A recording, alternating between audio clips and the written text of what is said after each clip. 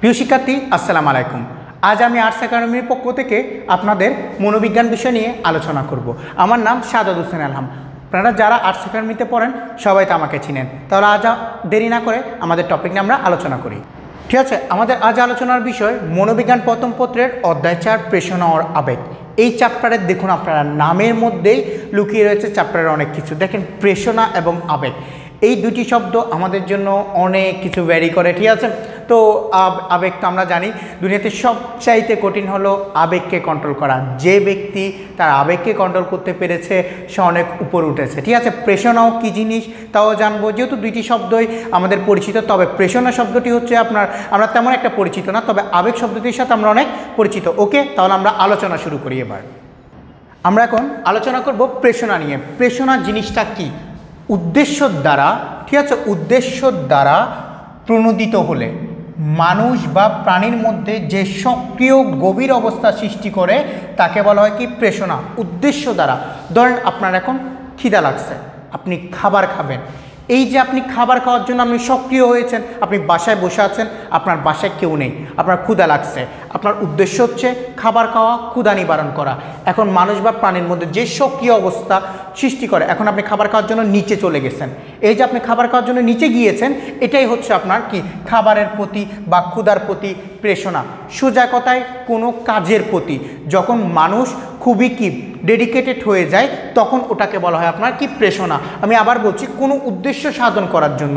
তো এটা একটা মানুষ, ঠিক আছে? একটা মানুষ, সে তার উদ্দেশ্য সাধন করার জন্য যখন সে সক্রিয়, গভীর অবস্থা সৃষ্টি করে, না, তার থেকে কাজটা করতেই হবে সেটা হচ্ছে কি প্রেষণা। ঠিক আছে? তাহলে এবার আমরা প্রেষণা নিয়ে আরও জিনিসপত্র জানব, ওকে? প্রেষণা সম্পর্কে ক্রাইডার ও তার সহযোগী কি বলেন? দেখেন, আকাঙ্ক্ষা প্রয়োজন, আগ্রহ যা একটি প্রাণীকে কর্মে উদ্ধুত করে তোলে এবং একটি নির্দিষ্ট লক্ষ্যবস্তুর দিকে পরিচালিত করে তাকে প্রেষণা হিসেবে সংজ্ঞায়িত করা হয়। ক্রাইডার এবং তার সহযোগীরা বলছে আপনার আকাঙ্ক্ষা, প্রয়োজন এবং আগ্রহ। যেমন ধরেন, এখানে একজন মানুষ রয়েছে, এই মানুষটা আপনাদের সাথে কল্পনা করেন। ঠিক আছে? যারা এখন বাইশ বেচের আছেন, তারা সামনে এইচএসসি পরীক্ষা দিবেন, ঠিক আছে? এইচএসসি পরীক্ষা দিবেন। এইচএসসি পরীক্ষা দেওয়ার পর সবার আকাঙ্ক্ষা কোথায় ভর্তি হবে? হয়তো ডিইউতে অথবা হচ্ছে আপনার কি, সিইউতে ভর্তি হতে চাচ্ছে। তা হচ্ছে তার কি, এই আকাঙ্ক্ষা এই আকাঙ্ক্ষা এবং তার প্রয়োজনও। কারণ তার মা বাবা তার উপর একটা আশা করে বসে আছে, আমার ছেলে বা মেয়ে চট্টগ্রাম বিশ্ববিদ্যালয় অথবা ঢাকা বিশ্ববিদ্যালয়ে পড়বে। আকাঙ্ক্ষা। এখন তার তার সে কাজের প্রতি আগ্রহ বেড়েছে। না, আমার তো এই সিইউডিউ থেকে যে কোনো একটা কনফার্ম কি লাগবে।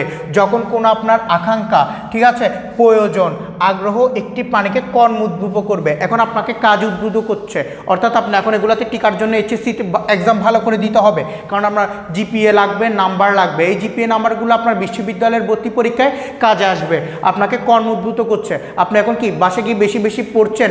চেষ্টা করছেন। আমাদের আর্টস একাডেমিতে এসে পরীক্ষা দিচ্ছেন কমার্স একাডেমিতে এসে পরীক্ষা দিচ্ছেন। স্যারদের সাথে বিভিন্ন কথাবার্তা বলছেন পড়ালেখা নিয়ে। এই যে আপনি এখন অনলাইন ক্লাস করতেছেন, এটা আপনার কিসের জন্য? এইচএসসিতে ভালো রেজাল্ট করার জন্য। এই রেজাল্টগুলো আপনাকে কাজ উদ্ভূত করছে। এই কাজগুলো করার জন্য আপনাকে সে তাড়না দিচ্ছে। এবং একটি নির্দিষ্ট লক্ষ্যবস্তুর দিকে, আপনার নির্দিষ্ট লক্ষ্যবস্তু হচ্ছে কি এখন? এইচএসসি এরপর আপনার লক্ষ্যবস্তু হয়ে যাবে ডিইউ এবং কি সিইউ এই যে নির্দিষ্ট একটি লক্ষ্যবস্তুর দিকে পরিচালনা করছে, এই সম্পূর্ণ ঘটনা আপনার কি হিসেবে পরিচালিত বলা হয় আপনার, পেশনা হিসেবে সংজ্ঞায়িত করা হয়। আশা করি আমরা বুঝতে পেরেছি। ওকে, এবার আমরা নেক্সট স্লাইডে যাব। এই প্রেষণা নিয়ে আমাদের বইয়ে একটি প্রেষণা চক্র রয়েছে। পরীক্ষার মধ্যে কিন্তু এই প্রেষণা চক্র থেকে বিভিন্নভাবে প্রশ্ন আছে, ঠিক আছে? তাহলে আমরা দেখব প্রেষণা চক্র জিনিসটা কি। এই প্রেষণা চক্রের আমরা চারটি স্তরে বের করেছি। একটা স্তর হলো আপনার অভাববোধ একটা হলো আপনার তাড়না, একটা হলো আপনার করণ আচরণ, আর একটা হচ্ছে আপনার কি উদ্দেশ্য সাধন। ঠিক আছে?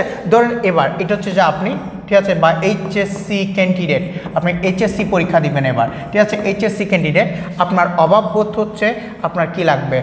জিপিএ ফাইভ এ প্লাস লাগবে। এবার পরীক্ষা আপনার কি লাগবে? এ প্লাস লাগবে। এটা আপনার অভাববোধ এবার তা আপনাকে তাড়না দিচ্ছে। তাড়না দিচ্ছে, আমার তো এ প্লাস লাগবে। ঠিক আছে? তাহলে এ প্লাসের তাড়না বোধে আপনি কি করবেন? আপনাকে তাড়না দিচ্ছে। এ প্লাস তো লাগবে। সবাই পাবে, আমার পেতে হবে, আমার বন্ধু পাচ্ছে, আমারও পেতে হবে। আর এই এ প্লাসটা আমার বিশ্ববিদ্যালয়ে কাজে দিবে এবং আমার সার্টিফিকেটটাকে ভারী করবে। জবের ক্ষেত্রে যেন আমার কি উপকার আসতে পারে, এটা আপনার তাড়নাবোধ এরপর আপনি কি করলেন? করণ আচরণ নেওয়া শুরু করলেন। অর্থাৎ এই যে আপনার তাড়নাবোধ আছে, এই কাজটি কি করার জন্য আপনি বিভিন্ন করণ আচরণ করছেন? অর্থাৎ এ প্লাস পাওয়ার জন্য আপনারা কী করতেছে? আমাদের আর্টস একাডেমিতে আসতেছেন, আপনি পড়তেছেন, পরীক্ষা দিচ্ছেন, আমাদের কমার্স একাডেমিতে আসতেছেন আপনি পড়তেছেন, পরীক্ষা দিচ্ছেন, এই যে আপনার করণ আচরণ, আপনি পড়ালেখা করতেছেন, আগে তো সারাদিন মোবাইল গুতাগুতি করতেন, এখন মোবাইল এক পাশে রেখে আপনি পড়া, পড়তেছেন, আর হাতে যখনই মোবাইল নিচ্ছেন, আমাদের এই আর্টস একাডেমির ভিডিওগুলো দেখছেন, যেন আপনার পড়া এবং আপনার স্কিল আরও ডেভেলপ হয়, আপনার বেসিক যেন আরও বেড়ে যায়, ঠিক আছে? তাহলে আপনি এখন করণ আচরণ নিচ্ছেন, অর্থাৎ আপনি এখন পড়ালেখা করছেন, এরপর আপনি উদ্দেশ্য সাধন করছেন ইনশাল্লাহ আপনি এরপরে উদ্দেশ্য সাধন আপনি এ প্লাস পেয়ে যাবেন।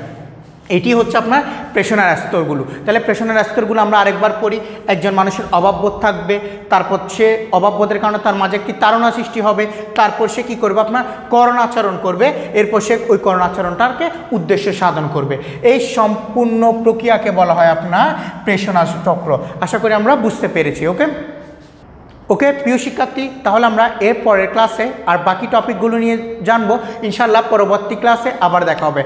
এতদিন ভালো থাকবেন, সুস্থ থাকবেন, আল্লাহ হাফেজ এবং পরীক্ষা ভালোভাবে দিবেন। ধন্যবাদ।